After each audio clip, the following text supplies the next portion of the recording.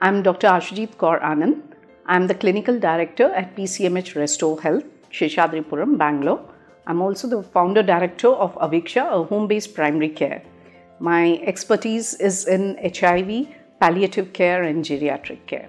The mother has to be on treatment because the transmission from a mother to child happens at three stages. That is when she is pregnant and the baby is in the womb. Then, when the baby is delivered, at the time of delivery, there is a risk of transmission, and after delivery, during breastfeeding. So, these three stages can be brought down to 0% of transmission if the mother is on an appropriate treatment. So it's very important that the mother is taking the right treatment and her viral load is undetectable.